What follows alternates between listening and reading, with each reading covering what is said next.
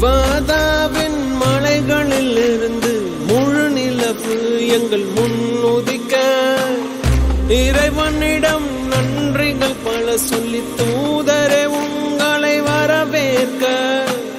வாதாவின் மலைகளில் இருந்து முழு நிலவு எங்கள் முன்னுதிக்க இறைவனிடம் நன்றிகள் பல சொல்லி தூதரே உங்களை வரவேற்க.